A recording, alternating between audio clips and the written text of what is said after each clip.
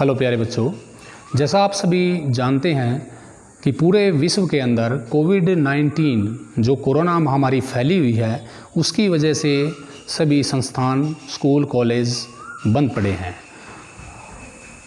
तो उसी में आपके बचाव के लिए भी और जिससे आपकी पढ़ाई भी सुचारू रूप से चलती रहे, उसी के लिए ऑनलाइन क्लासेस की शुरुआत की जा रही है, ताकि आपकी पढ़ाई सुचारू रूप से चलती रहे। इसी कड़ी में आज मैं सुभाष चंद्र आपके नाइन्थ क्लास की साइंस की शुरुआत करने जा रहे हैं।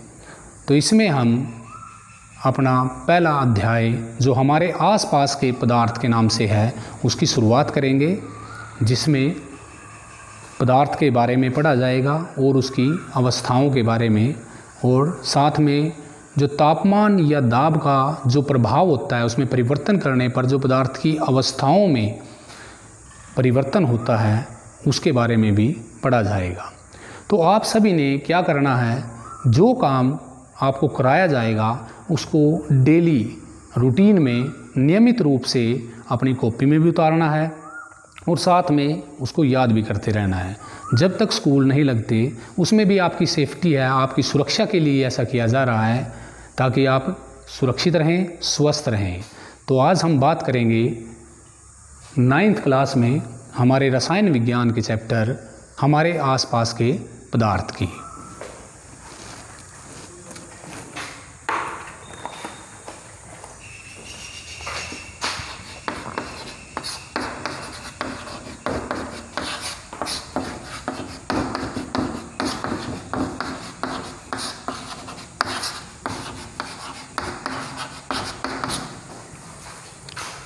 तो बच्चों, इस पाठ के अंदर हम, जैसे नाम बता रहा है हमारे आसपास के पदार्थ तो पदार्थ की बात करेंगे कि हमारे आसपास कौन कौन से पदार्थ पाए जाते हैं और अगर वो पदार्थ हैं तो उन्हें पदार्थ कहते क्या हैं, क्यों हैं? पदार्थ क्या होते हैं? पहले बात करते हैं, कोई भी वस्तु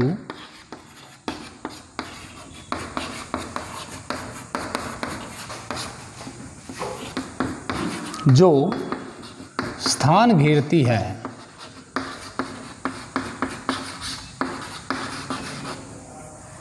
और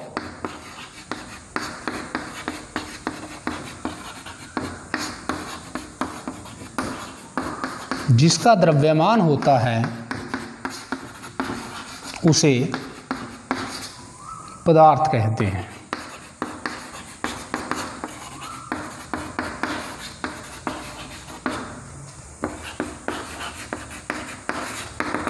क्लासरूम की बात की जाती है कि आप अपनी कक्षा में देखते हो कि कुर्सी रखी हुई है, मेज़ रखी हुई है, बेंचों के ऊपर आप बैठे हुए हो, चौक रखे हुए हैं, जिसकी सहायता से अध्यापक ब्लैक बोर्ड पर काम कराता है ब्लैक बोर्ड है आपके सामने तो आप देखते हो कि ये वस्तुएँ जहाँ जहाँ रखी हुई है, वहाँ वहाँ स्थान को, उतनी ही जगह को घेर रही हैं। साथ में अगर उनको उठा के देखा जाए तो उनके अंदर ये जो बात की है हमने, दूसरा वर्ड लिखा है, इसमें दूसरा शब्द लिखा है द्रव्यमान, कि उनमें वज़न भी होता है, द्रव्यमान भी होता है। इसका मतलब क्या हुआ? ये सभी वस्तुएँ किसमें आ जाएँगी? पदार्थ के अंदर आ जाएँगी। तो इसमें हम उसके उदाहरण दे सकते हैं। मेज़, कुर्सी, श्यामपट या ब्लैक बोर्ड आदि।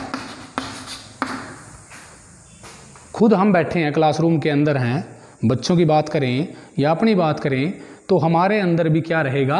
ये दोनों ही गुण मिलेंगे। इसका मतलब क्या होगा कि हम भी किस उसमें आ जाएँगे? पदार्थ की श्रेणी में आ जाएँगे। दूसरी बात आती है कि कोई भी पदार्थ हो, बिल्कुल छोटे छोटे कणों से मिलकर बना होता है।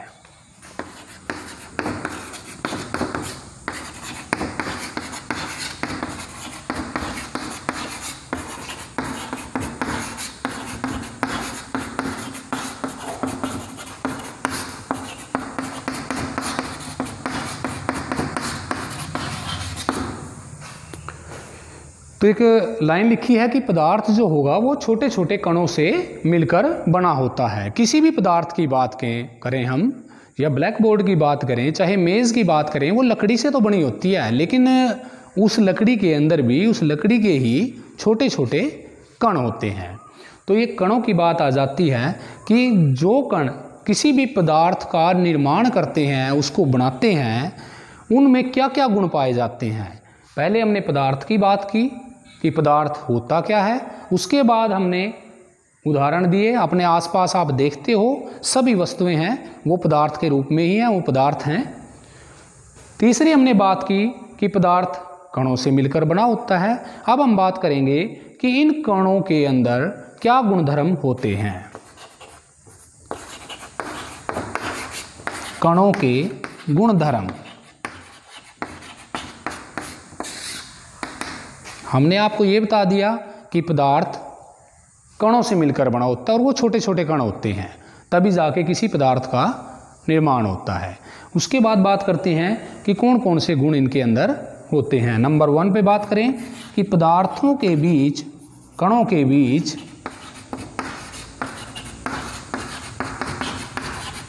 रिक्त स्थान होता है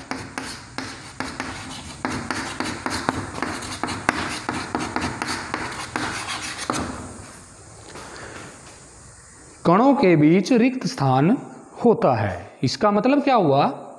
कि कोई भी पदार्थ है, वो कणों से अगर बना है तो वो कण आपस में जुड़े हुए हैं। तो वो कण जो जुड़े होंगे, लेकिन उनके बीच में फिर भी क्या मिलेगा? रिक्त स्थान पाया जाता है, जगह मिलती है। इसको कैसे समझाया जा सकता है? कि हम एक गिलास में पानी लेते हैं और उसके अंदर चीनी या नमक डाल देते हैं। जब उसको घोला जाता है तो आप देखते हो कि ना तो वो चीनी के कण और ना ही नमक के कण वहाँ दिखाई देते हैं, बल्कि एक घोल, एक विलियन तैयार हो जाता है, जिसको हम पानी, चीनी पानी या फिर नमक पानी का घोल बोल देंगे या विलियन बोल देंगे। तो वो कण गए कहाँ? वो चीनी के कण या फिर वो नमक के कण कहाँ गए? तो हम कह सकते हैं कि वो कण उस जल के अंदर, उस पानी के अंदर मिक्सअप हो गए, गुड़ गए। अब वो अगर उस पानी के अंदर चले गए तो अपनी जगह उन्होंने कहीं ना कहीं बनाई होगी। तो यह दर्शाता है कि जो पानी, जो एक पदार्थ है, उसके जो कण हैं, उनके बीच में रिक्त स्थान था, जगह थी, जिसको किसने कवर किया? चीनी ने या फिर नमक के कणों ने। वो अपनी जगह, उस जगह को अपनाया। तो इसलिए कहते हैं कि कोई भी जो पदार्थ होगा, उसके कणों के बीच में रिक्त स्थान होता है। दूसरी बात करते हैं कि जो कण होते हैं, निरंतर गतिशील होते हैं। निरंतर गतिशील होते हैं। कि जो पदार्थ के कण हैं, वो एक जगह से दूसरी जगह लगातार चलते रहते हैं। अब हम बात करें, इसमें हम उदाहरण दे सकते हैं। हम लाल दवाई के बारे में आपने सुना हुआ है। अब जो लाल दवाई होती है, उसकी छोटे से कण, छोटा सा क्रिस्टल जो होता है, वो पानी के अंदर डाल दिया जाता है। अब वो डाला तो एक जगह जाता है, लेकिन वो उस अगर बकेट में, पूरे गिलास में पानी ले रहे हैं तो उसको पूरे को लाल कर देता है। इसका मतलब क्या हुआ? कि जो लाल दवाई है, जो पोटासियम परमैग्नेट है, उसके कण वो एक जगह से लेकर दूसरी जगह तक पहुँच गए। जो यह दर्शाता है कि पदार्थ के जो कण होते हैं, वो लगातार एक जगह से दूसरी जगह चलते रहते हैं। हम इसमें और भी उदाहरण दे सकते हैं। हम कह सकते हैं, खाना बनाया जाता है घरों के अंदर। तो उसकी सुगंध आपको बाहर तक आ जाती है, उस गर्म खाने की, कि वो कितना अच्छा बना हुआ है, बहुत अच्छी सुगंध आ रही है तो वो भी दर्शाएगा कि कण जो हैं, वो निरंतर गतिशील रहते हैं। तीसरी बात करते हैं हम इसी में तो कणों के गुण धर्मों के अंदर, कि जो कण होते हैं, उनमें आकर्षण होता है।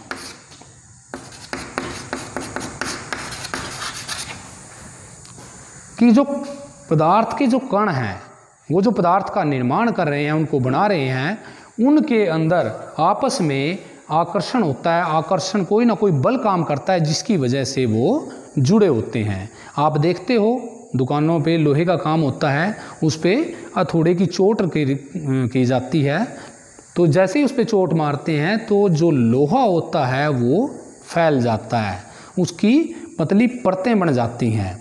लेकिन अगर वही चोट हम इस चौक पे मारेंगे, उतने या थोड़े से चोट मारेंगे तो इसके कण क्या होंगे? इधर उधर बिखर जाएँगे।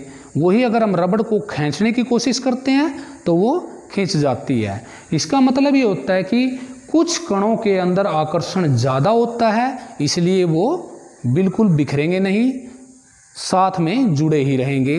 कुछ कणों में आकर्षण कम होता है, वो और फैल जाते हैं। ऐसे ही गुब्बारे के अंदर आप देखते हो गैस भरी होती है, हवा भरी होती है। जब उसको फोड़ दिया जाता है तो वो गैस कहाँ चली जाती है? वायु के अंदर समावेशित हो जाती है, फैल जाती है। तो उसके कणों के बीच में जो आकर्षण है, वो और भी कम रहेगा। जिसमें आकर्षण ज़्यादा होता है, उस पदार्थ के अंदर कण आपस में जुड़े रहते हैं।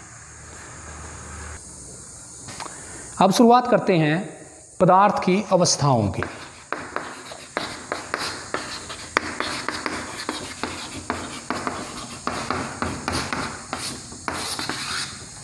पदार्थ के बारे में हमने पढ़ा कि पदार्थ क्या रहता है, क्या होता है। उसके बाद पदार्थ को ही हम दो तरीके से, दो रूप से अलग अलग भागों में बांट सकते हैं। एक होता है भौतिक रूप और दूसरा होता है रासायनिक रूप।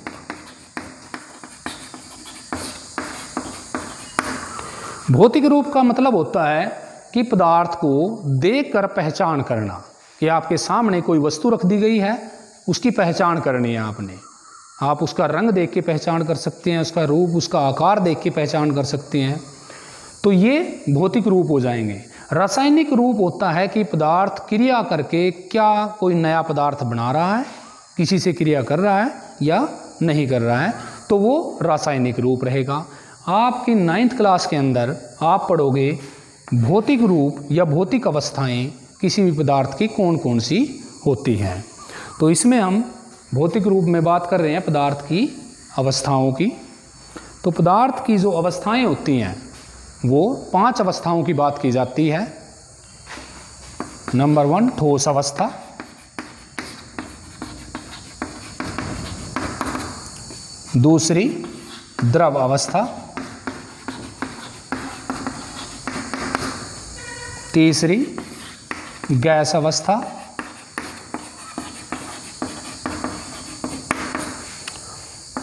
चौथी, प्लाज्मा।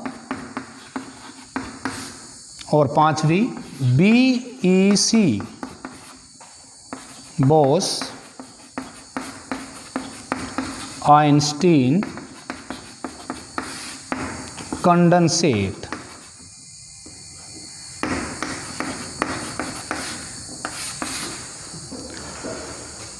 ठोस अवस्था द्रव अवस्था गैस अवस्था प्लाज्मा और बोस आइंस्टीन कंडेंसेट। इसका नाम बताता है कि जो बोस साइंटिस्ट था और आइंस्टीन साइंटिस्ट था, उन्होंने इस अवस्था को, इसकी अवस्था की पहचान कराई। उनके नाम पर ही रख दिया गया बोस आइंस्टीन कंडेंसेट।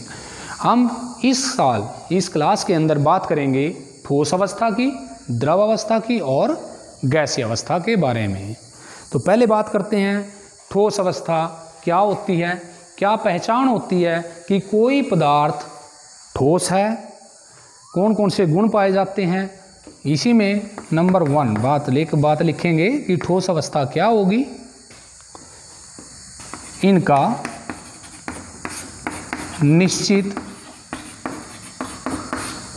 आकार और निश्चित आयतन होता है।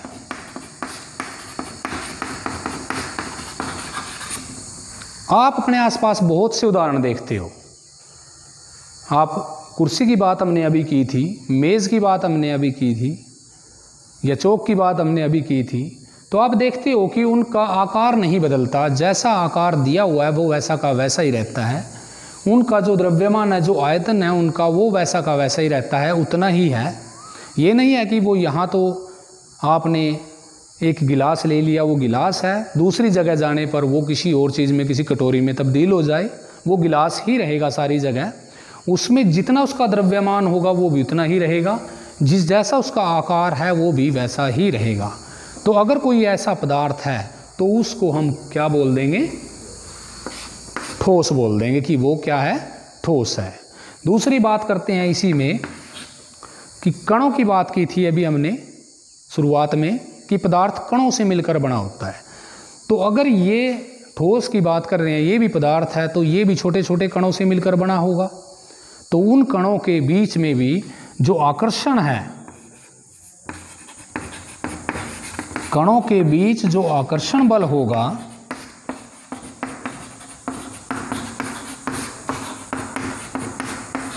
ज़्यादा होता है।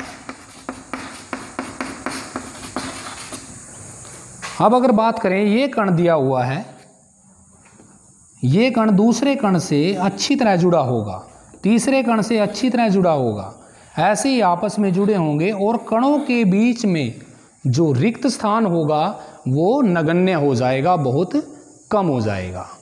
तो ये पहचान रहेगी ठोस अवस्था की।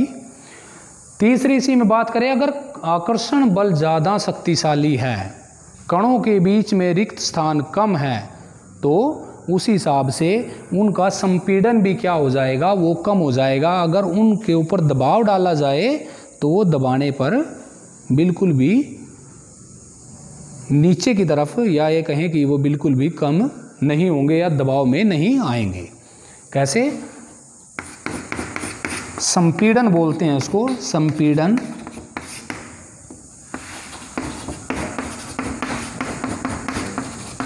कम होता है। गुब्बारे की बात करते हैं, गुब्बारे को दबाया जा सकता है, संपीड़ित किया जा सकता है, क्योंकि वो दूसरी अवस्था में आएगा कि उसको, उसके बीच में, जो कणों के बीच में गैप है, जो रिक्त स्थान है, वो ज़्यादा है। लेकिन ठोस की बात करते हैं कि आकर्षण ज़्यादा होता है, रिक्त स्थान कम है, इसलिए उनका संपीड़न नगण्य रहेगा, बिल्कुल ही कम रहेगा। अगर हम मेज़ के ऊपर दबाव डालते हैं तो ऐसा नहीं है कि मेज़ धरातल पे, ज़मीन पे चली जाएगी। वो वहीं की वहीं रहेगी।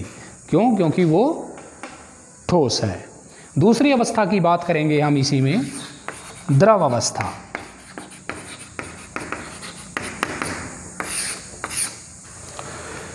द्रव अवस्था से पहले इसी ठोस में हम एक दो क्वेश्चन की बात कर लेते हैं। आपके सामने बात आता है। स्पंज की बात आ जाती है। कि स्पंज जो है उसको दबाया जा सकता है। अभी हमने बात की कि इनका संपीड़न नहीं होता है, संपीड़न कम होता है तो जब स्पंज को दबाया जा सकता है तो क्या वो ठोस होता है? बिल्कुल वो ठोस होता है, लेकिन स्पंज के जो कण आपस में जुड़े होते हैं, उनके बीच में जो जगह रह जाती है, उसमें हवा भर जाती है, वायु भर जाती है। तो जब उसको दबाया जाता है तो वो वायु वहाँ से बाहर निकल जाती है। आप देखते हो कि वो स्पंज क्या होगा? वो थोड़ा दब तो जाएगा, लेकिन उसकी ऐसा नहीं है कि उसकी आकृति बिल्कुल ही बदल जाए। तो वो भी ठोस में आ जाएगा। इसी तरह हम रबड़ बैंड की बात करते हैं। रबड़ को खींचा जा सकता है और उसकी आकृति बदल जाती है। तो क्या वो भी ठोस होता है? वो भी ठोस में ही रहेगा। सिर्फ़ बल लगाने पर उसकी आकृति में तो बदलाव आता है, लेकिन जैसे ही बल को छोड़ा जाता है जो रबड़ बैंड है, जो रबड़ होगी, वो अपनी वास्तविक स्थिति के अंदर वापस आ जाती है। तो ये ठोस के गुणों के बारे में दर्शाता है। उसके बाद बात आती है द्रव अवस्था की। तो पहले यही बात है, जो हमने ठोस में लिखा है, जैसे इसमें लिखा कि इनका निश्चित आकार और निश्चित आयतन होता है। द्रव की बात करेंगे, इनका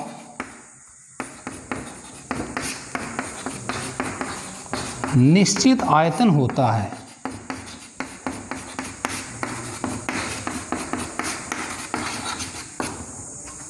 परंतु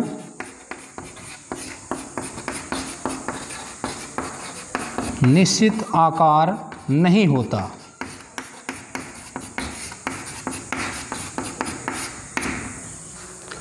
कि जिस भी वस, जिस भी कंटेनर की बात करें, किसी गिलास की बात करें, या जिस माध्यम में इन द्रवों को रखा जाता है, इन पदार्थों को रखा जाता है उसी की आकृति ले लेते हैं। आयतन की बात करते हैं, जैसे गिलास में एक गिलास पानी लेते हैं हम तो इसका मतलब क्या हुआ? वो एक गिलास ही पानी है, द्रव है।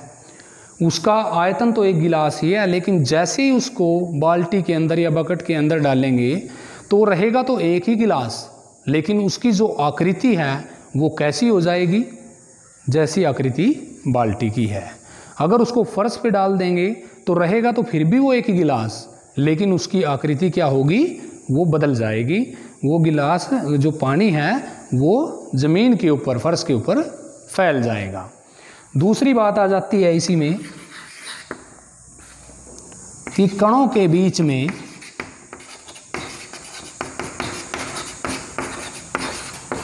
आकर्षण बल कम होता है।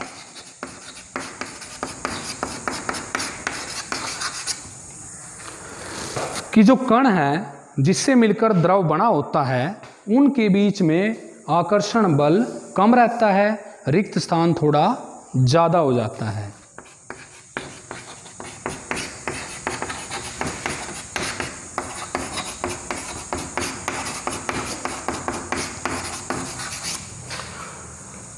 तो रिक्त स्थान ज़्यादा रहेगा और आकर्षण बल कम रहेगा। यही वजह होगी जिसकी, जिसके कारण इनमें जो संपीड़न होगा, वो थोड़ा ठोस से ज़्यादा हो जाएगा। इनको थोड़ा दबाया जा सकता है। बात कर लेते हैं। तो तीसरा पॉइंट द्रव अवस्था में ही बात कर रहे हैं कि जो इनका संपीड़न है, किया जा सकता है।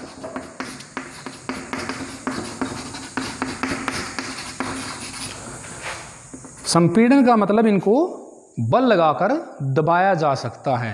अब दबाया क्यों जा सकता है? क्योंकि इनके कणों के बीच में जो आकर्षण बल है, वो कम होता है और रिक्त स्थान भी होता है। अब जगह अगर कणों के बीच में दी गई है तो उनको बड़े आराम से संपीड़ित किया जा सकेगा।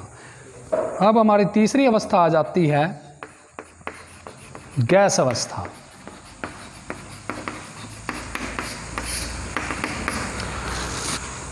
तो पहले में हमने बताया कि निश्चित आकार भी होता है और निश्चित आयतन भी रहेगा। दूसरे में हमने बताया द्रव अवस्था के बारे में कि निश्चित आयतन होता है, लेकिन निश्चित आकार नहीं होता। जैसे उसमें दूध की बात करें, जल की बात करें, वो भी द्रव अवस्था में हो जाती है।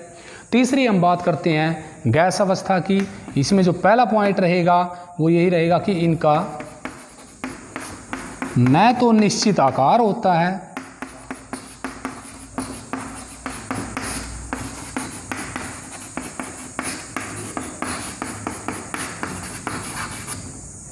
और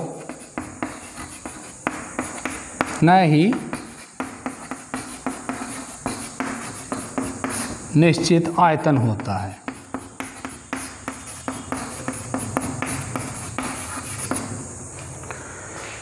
कि एक जगह के अंदर थोड़ी गैस भी डाली जा सकती है और ज़्यादा गैस भी डाली जा सकती है। तो वो आयतन से संबंधित होगा कि निश्चित आयतन नहीं होता। आकार की बात करें, गुब्बारे में हवा भरी जाती है तो थोड़ी हवा भरेंगे, उसकी आकृति कुछ और होती है। ज़्यादा भर देंगे तो उसकी आकृति में बदलाव आ जाता है। उसको प्रेस कर देंगे तो उसकी आकृति बदल जाती है। तो इसलिए कह, लिखा गया है कि न तो निश्चित आकार होता है और ना ही निश्चित आयतन होता है। सेकंड बात इसी में अगर करें, जैसे हमने ठोस में कहा था आपको कि ठोस के अंदर जो आकर्षण बल है कणों के बीच में वो ज़्यादा होता है, रिक्त स्थान कम होता है, द्रव में जो आकर्षण बल है वो थोड़ा कम हो जाता है। यहाँ जो कणों के बीच में आकर्षण बल होगा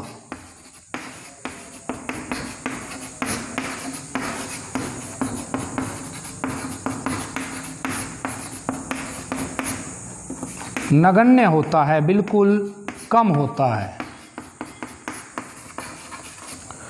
जब आरक्षण, आकर्षण बल नहीं होगा तो इसका मतलब जो होगा, कण दूर दूर फैले रहेंगे। उनके बीच में जो रिक्त स्थान है, वो ज़्यादा रहेगा। तीसरा, इनको संपीड़ित किया जा सकता है।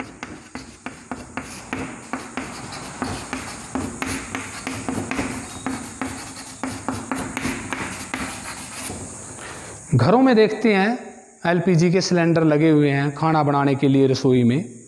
एलपीजी का मतलब होता है द्रवित पेट्रोलियम गैस, कि वहाँ गैस को ही सिलेंडर के अंदर डाला जाता है, दबाव डाल के, कंप्रेस करके, अच्छी तरह उसको संपीड़ित करके, द्रव अवस्था में परिवर्तित करने के बाद सिलेंडर में उनको भरा जाता है। तो इसका मतलब क्या हुआ? वहाँ गैस को संपीड़ित किया जा सकता है, उनके कणों को दबाव डाल के संपीड़ित किया जाएगा। तो ये आ जाएगा गैस अवस्था के बारे में। गैसों में आप उदाहरण दे सकते हो। ऑक्सीजन गैस के बारे में आपने सुना है, नाइट्रोजन गैस के बारे में आपने सुना है, एलपीजी गैस के बारे में भी आपने सुना है, सीएनजी गैस जिससे कारें वगैरह चलाई जाती हैं उसके बारे में आपने सुना है। तो वो सभी गैस अवस्था को दर्शाएँगे कि ना तो उनका आकार निश्चित होता है और ना ही उनका आयतन निश्चित होता है। तो हमने पदार्थ पढ़ा और पदार्थ की अवस्थाओं के बारे में पढ़ा कि पदार्थ की तीन अवस्थाएँ हैं कौन कौन सी हैं? ठोस, द्रव और गैस अवस्था। आपने देखा कि ठोस अवस्था के अंदर जो कण होते हैं, वो बिल्कुल नज़दीक नज़दीक पाए जाते हैं।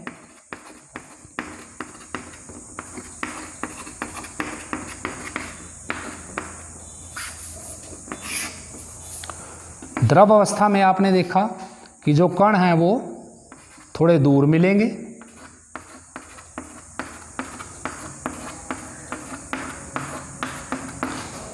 गैस अवस्था के बारे में में आपने देखा कि जो कण है वो बहुत दूर दूर मिलेंगे।